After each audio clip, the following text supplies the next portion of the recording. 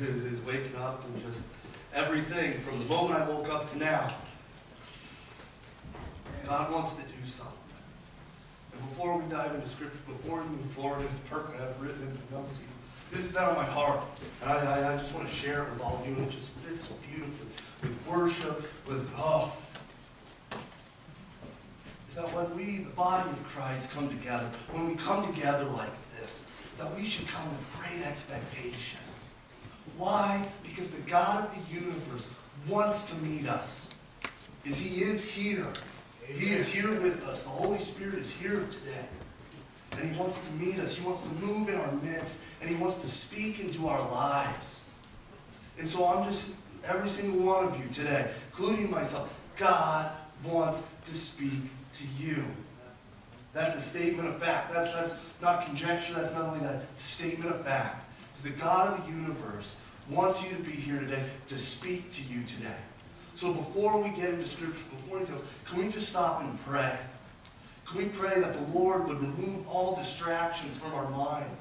That He would take any anxieties that would keep us from focusing on Him? That He would open the ears of our heart to hear what He wants to say to us today? Dear Heavenly Father, Lord, we thank you for today, Lord. Lord, I thank you for every person here, Father God. They are a dearly loved child of the King. Lord, we just pray right now that any distractions, Father God, anything that would keep us from focusing on you, Lord, that you would remove, Father God. That any anxieties, any worries, any stresses, any fears, Lord, that are in our heart, Lord, that try to steal us from you, Father God, we lay those down at the cross now, Lord. Jesus, move in our midst, Lord. We are your people. You are our God. We come to worship you, King of kings and Lord of lords. Speak to us now, Father God. Lord, we praise you. In Jesus' name, amen. Amen. So today we're going to be continuing in our unfinished series through the book of Acts, with the idea of this series being that the work of God is not done. That the end of Revelation isn't the end of the story. That God is writing his story through us and through our lives. Last week, Pastor Jeff taught us out of Acts 16 and 17. And he was teaching us that we need to have a passion for Jesus, a passion for his mission, and a passion for his people. And this week, we're going to continue to build off of that. So we're going to be looking at Acts chapter 18 and 19, and we're going to be looking at the importance of God's Word and the power of the gospel of Jesus Christ. And it just, it's, it's so perfect. Seeing Cole's story, oh, God's going to do some great things this morning. He is, and He's going to continue to do so.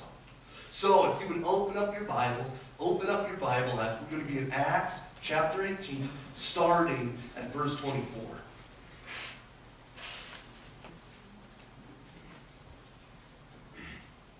Verse 24.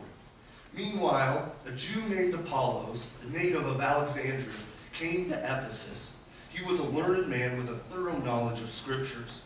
He had been instructed in the way of the Lord, and he spoke uh, with great fervor and taught about Jesus accurately, though he only knew the baptism of John. He began to speak boldly in the synagogue. When Priscilla and Aquila heard him, they invited him into their home and explained to him the way of God more accurately. When Apollos wanted to go to Achaia, the brothers and sisters encouraged him and wrote to the disciples there to welcome him. When he arrived, he was a great help to those who by grace had believed, for he vigorously refuted his Jewish opponents in public debate, proving from Scripture that Jesus was the Messiah.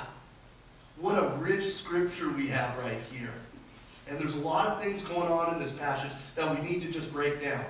Starting in verse 24, we're introduced to this man by the name of Apollos, who it tells us in, uh, in that verse was a Jewish man.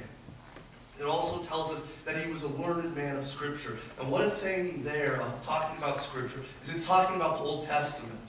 Is, is we're reading out of the book of Acts. And so the whole New Testament is being lived out right now. Is it didn't exist at this time. Why? Because it was being lived. So when it says scriptures, it's talking about the Old Testament. So it tells us that he knew the Old Testament. It also tells us that Apollos was from Alexandria, which is in um, Egypt, so in northern Africa. And I got my degree in history, so I think this is super cool and super fascinating that Africa, um, that Alexandria is here. He's in Ephesus, Greece, here, which means he has to travel across the Mediterranean. So he wasn't in his homeland, and for whatever reason, he traveled there. And I just think that is the coolest thing, is we see the history um, that's in the Bible.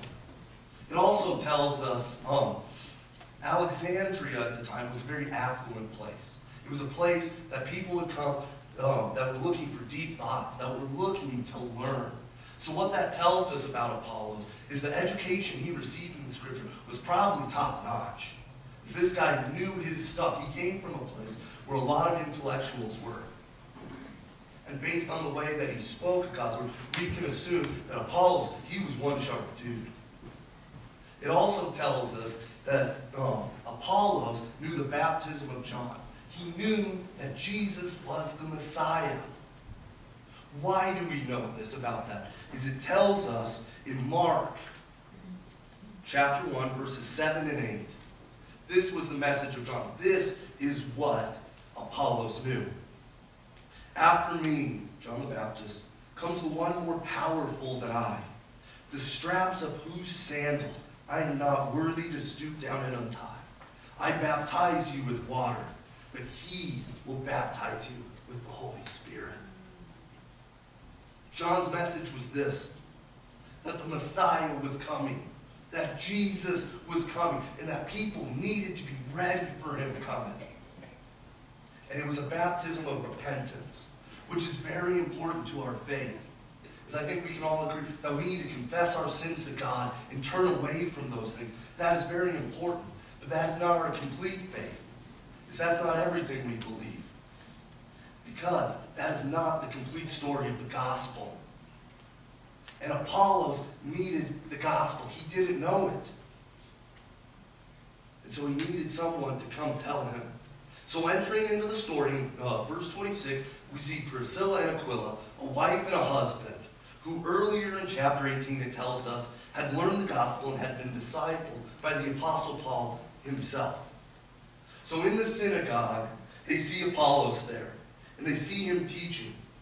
And they see that he knows his stuff. They see his heart for the Lord. But they also notice that he's missing the biggest piece of the puzzle, that Apollos doesn't know the gospel. Do we know people like that in our lives? That, that if you're out at trivia night, it's Bible trivia, this person, you're bringing them along because they're going to win it for you. They know, they can quote scripture, they know everything the Bible says, but they don't know the gospel. Don't truly know it. Is in our culture, we have both believers and non-believers who study the Bible. And I'd be willing to bet that in both groups, there are people that don't truly know the gospel of Jesus. So what did Priscilla and Aquila do in this place? Is they see Apollos in the synagogue speaking, and they see what he's doing here. Well, it tells us that they welcomed him into their home. And in doing so, they're bringing Apollos into the body of Christ. Is they're bringing him in, they're welcoming him. And then privately, they explain to him the way of God, the gospel, more adequately. They didn't correct him in public. They did it privately. And on a quick side note, I'm going to get on my soapbox for a second. Quick side note, we should notice that Priscilla's name comes before Aquila even though she was a woman. And in studying the scripture, theologians believe why this was done is because Priscilla was most likely the more mature and devout follower of Jesus. So what does that tell us? That tells us this. Ladies, God has given you gifts. He has given you talents. He has given you calling. And there are many situations where you can lead, and we need you to lead. Girl power, ladies. Girl power. So now I'm going to get down back off my soapbox, and let's, let's continue. Just a quick side note, I've got sisters. I'm passionate about this, and we are very fortunate that we are a part of a denomination that encourages and empowers women to lead. It's one of the things I love about being a Free Methodist. So they taught Apollos privately. And there's two big things that we can learn right here. These, these are uh, points two and three in your bulletin. The first thing that we can learn from their example is that we must keep our eyes open for opportunities to welcome people into the body of Christ, to welcome people into our church, into our home, and into our lives. As a mentor of mine says, we need to keep our eyes open to do life with people. That's what Jesus did. That's what the early believers did, and that's what we are going to do. The second thing we learn from them is this. We need to treat all people with dignity, whether they agree with us or not, whether they're a believer or not. We need to treat them with dignity and respect. Priscilla and Aquila could have corrected Apollos publicly. They could have been in the synagogue and been like, Apollos, man, dude, you are a rock star, man. You're doing awesome. Yeah, Jesus is the Messiah. Everything's you're saying true. But you're missing something. Based on what we know about Apollos, being a very well-educated man, being from a very affluent, deep-thinking place, was probably a pretty proud man. And this would have probably been embarrassing to him. And inadvertently, had they done this publicly, they may have pushed Apollos further from the gospel of Jesus rather than welcoming him in. So those are the two things. We need to be looking for opportunities to welcome people into the body of Christ. And we also need to treat everyone we meet with dignity and respect.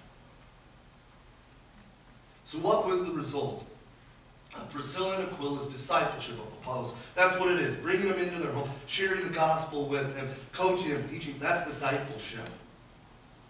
It tells us what the result of this was. When the Lord placed it on Apollos' heart to go to Achaia, they sent him out with blessing. And when Apollos got to Achaia, he was a great help to those who by grace had believed. You see, Apollos had potential. He had knowledge. He had gifts. He had a passion for the Lord. But he was missing the most important thing, the gospel. You see, the gospel changes things. Without the gospel, we don't have our faith. Without the gospel of Jesus Christ, there is no church. We are not here. There are no Christians without the gospel of Jesus Christ. That's what's different about Christianity versus every other religion. So let's go through. We're going to take a quick 30, 60 second refresher on what the gospel is. And for those of you who know the gospel, who have been taught the gospel, this is a great reminder because as followers of Jesus, this is what we believe. This is what our lives are all about. For those of you who may never heard the gospel, who maybe this is your first time in church, this is what we believe. This is what Daniel believes. This is what Pastor Jeff believes. This is what the River Church is all about. That God created all things. He created Adam and Eve. And through them, sin entered into the world. Things were broken. So God had a plan. And what that plan was is God came to earth in the form of a man, Jesus. He was born of a virgin, making him fully God and fully man. He lived a perfect life. He never sinned, never made a mistake. And in doing so, he fulfilled all the messianic prophecies from the Old Testament about him. Jesus then was crucified on a cross, and in doing so, took all the sin of all time, of the entire world, on his shoulders. And he died on the cross and was buried in a tomb. Still with me? And now we get to the good part here. Is for three days Jesus laid in the tomb. And on the third day he rose from the dead, being resurrected by the power of God. And in doing so, he defeated sin, he defeated death, he defeated Satan, and he defeated hell for all time. That's good news for us. Jesus then ascended back to heaven where he sits at the right hand of the Father Almighty. And one day he is coming back to judge the living and the dead. And there is only one name under heaven by which men can be saved, the name of Jesus. Amen. He is the way, the truth, and the life. That's the gospel. Right. That's the good news. That's what we believe. That is our hope. And all of Scripture is pointing back to this. Everything from Genesis to the book of Revelation is pointing us back to the gospel of Jesus Christ. Every word in there is specifically there by God to point us back to the cross, into the grave, into the resurrection. But Apollos didn't know this. He knew everything about Scripture, but he didn't know the gospel. He'd studied it. But at that point in time, he didn't know it. And there are many people in our society who are that way. Famous performer and outspoken atheist, Penn Jillette of Penn and Teller. They're famous magicians. They do shows in Las Vegas. They're on TV. I watched one of their specials back in high school, and I have no idea how they do what they do. They're, they're incredible. But this is what he said about the Bible. Whatever you do, don't read the Bible for moral code. It advocates prejudice, cruelty, superstition, and murder. Read it because we need more atheists. And nothing will get you there faster than reading the darn Bible. Didn't say darn, much more colorful language. He feels very passionately about this. So, how is it that we could have two people that read the Bible and one of them sees it for what it truly is the book of life, the living Word of God? And others read it and they see it as trash. It tells us in 1 Corinthians 1.18, For the message of the cross is foolishness to those who are perishing, but it is God's power to us who are being saved. You see, knowing the gospel is more than just head knowledge about Jesus, the cross, and the resurrection. This is part of it. Apollos didn't know the gospel. No one had told him, and he needed Priscilla and Aquila to come and share it with him. But knowing the gospel is more than just knowing it here. There's more to it.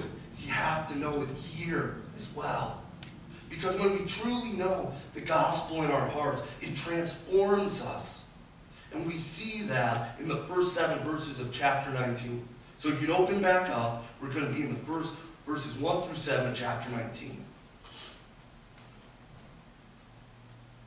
While Apollos was in Corinth, Paul took the, um, took the road through the interior and arrived at Ephesus. There he found some disciples and asked them, Did you not receive the Holy Spirit when you believed? No, we have not even heard that there is a Spirit. So Paul asked, Then what baptism did you receive? John's baptism, they replied. Paul said, John's baptism was a baptism of repentance.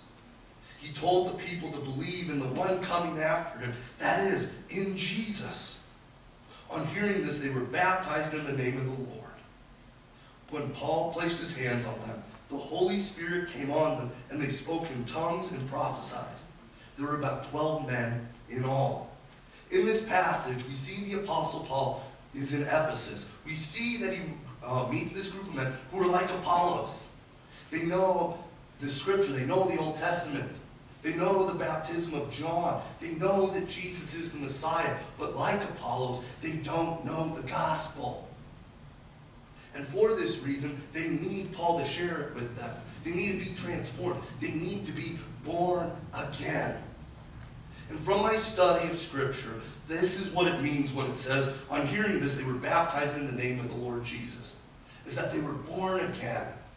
And why? Why? It's not an actual baptism. It's not what and Cole just did. And why is that? Because in 1 Corinthians, Paul writes and tells us that he only baptized two people Crispus and Gaius. So, what happens to these men when they're born again, when they're baptized by the Lord Jesus? Is it tells us the Holy Spirit came on them. You see, true knowledge of Scripture um, of the gospel, of both head and heart, transforms us. And this is what Jesus meant when in John 3 3 he said, Truly I say to you, unless one is born again, he cannot see the kingdom of God. See, true life is found in both head knowledge but heart transformation. Is it's not an either or, it's a both and. To truly be born again, you can't have one without the other. John Wesley, one of the father, the father of the Free Methodist Church, and one of our founders in faith, put it this way in his sermon almost a Christian. The right and true Christian faith is not only to believe that Holy Scripture and the articles of our faith are true, but also to have a sure trust and confidence to be saved from everlasting damnation by Christ. It is a sure trust and confidence which a man hath in God, that by the merits of Christ his sins are forgiven, and he is reconciled to the favor of God, whereof doth follow a loving heart to obey his commandments. In this sermon, John Wesley describes what he calls an almost Christian. These are people like Apollos, the 12 men in Ephesus. And John oh, Wesley describes them by having two characteristics. One, they do good instead of evil, and they believe in Jesus. That sounds like a Christian to me. But John Wesley in this sermon tells us that it's not quite, and this is one of the things he says. Good men avoid sin from their love of God. Wicked men avoid sin from fear of punishment. It's about our heart. It's about what motivates us. And believing in Jesus doesn't mean you know the gospel. It tells us the demons believe in Jesus. The demons know Jesus is the Messiah. But they're not saved. John Wesley then goes on to describe what he calls an altogether Christian. And this altogether Christian we call a true follower of Jesus. This person has three characteristics. They love God, they love people, and they have faith in the gospel. And it's because of their faith in the gospel that they are able to love God and to love people. And so I'm not saying this. This is what not, this is what I'm not saying. That we should that we shouldn't study all of Scripture. We need to. Why? Because all of Scripture is divinely inspired. But we need to study all of Scripture to help us better understand the gospel of Jesus Christ. Because that's why we need to study all of it. And this is not just for new believers, but this is for all believers. We could come together, all of us here, collectively, and work 24 7, 365 from now till kingdom comes, studying the Bible. And as a collective group, we would not be able to fully comprehend the depth and width of what Jesus has done for us. We all need to be continually transformed by the Holy Spirit. So it doesn't matter if you've been a Christian for the past five seconds or the past 50 years. We all need to study the gospel, of the scripture, so we can better understand the gospel of Jesus Christ. And we live in a society and a world of almost Christians this close. I'd even be willing to say that there are those of you in this very room who would fall into that. That you know the answers, but it hasn't been made real here. And I don't say that with judgment. I don't say that to be harsh. I say that to be real. And I say that as having lived the vast majority of my life as an almost Christian. From as far back as I can remember, I always knew who Jesus was. Jesus was the Son of God. He died on a cross for my sins. He went back to heaven. He was coming back, and he was going to take me to heaven with him. Because I knew it. Because I never questioned it. And being a pastor's kid, going to CLC, being in Sunday school, I had a greater depth of knowledge of Scripture than most people my age. So I had all this knowledge up here, but none of it was real to me here. And so, especially into my college years, I really turned my back on my faith. As I walked away from it, and I gave myself over to my fleshly desires. And it wasn't until Good Friday 2011 that the gospel became real to me. It was on that day that I realized that all the things of this world could not fill the hole in my heart. And for the first time in my life, I distinctly remember this moment of having this thought go through my head. I need Jesus. So I got up and I left. I got in my car and started driving. And I did the only thing I could think of. I called my sister's youth pastor, Jared Artem, who's now um, along with Jason Chavez, leading our men's ministry here. I called him. And I told him everything that was going on. I told him that I would give up anything. There was nothing too big, there was nothing too small. Whatever I had to do, I would do it because I had to have Jesus. I couldn't go another moment without him. But this is what I also said to him. If he wants me, if he is willing to take me back. Because I was afraid that all the things that I had done in my life, all the sin, all the guilt, all the shame, had disqualified me from the grace of God. And this is what Jared said to me. He explained the gospel. And for the first time in my life, I understood it here. Is it wasn't just some story, it was real. And he finished off by saying this to me, Daniel, do you know what day it is? And I told him, well, it's Friday. And he said, no, Dan, it's Good Friday. And at that very moment, I heard the voice of Jesus very clearly in my head. And this is what the Lord said to me. Daniel, 2,000 years ago, I died for you. Today, you live for me. And I don't share that story to be like, hey, since Good Friday 2011, no sin, perfect guy. If you have an issue with me, it's your fault. Because I'm maybe, no. No, I've got more sin in my life than I'd like to admit. My wife's here. If you want to know, ask her. She, yeah, she knows. But what I'm saying is in that moment, my heart was transformed. In that moment, not only my mind, but my very being knew the gospel of Jesus Christ. Maybe you've come in to church today and you were like me. You're, you were an almost Christian. Maybe today can be the day where your heart truly knows that Jesus is Lord. Maybe you've never been to church before, but you hear this and something's tugging at your heart. Today can be your day. You can be transformed. As we see in the life of Cole, God does miracles. He can truly transform us. Amen. Maybe today you come in and you've been walking with the Lord. You're an altogether Christian. But you know there's that one area of life that you're just having a hard time letting go. That there's part of your heart that needs to be transformed to be more like Jesus. Today can be the day that you give to him. If the band would come back up. while they're playing, can we take a moment of prayer with one another? Can we ask the Lord to come into our hearts, to speak to us, to transform us, to make the gospel even more real to us? Can we ask that? And church, together, can we covenant in this? And, and I can tell you right now, being in leadership meetings, being around Pastor Jeff, being around the staff and the board, this is the kind of church we're going to be in. So let's covenant to one another.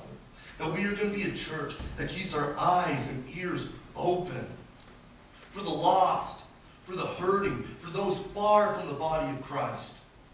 And that we would be people that when we see the opportunity would welcome people into the body. And not just invite them into our church, but invite them into our homes, to invite them into our lives.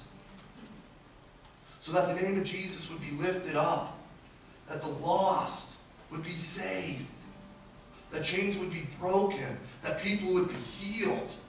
Because that's why we exist. Can we covenant that that is the church that we are and that we are going to be?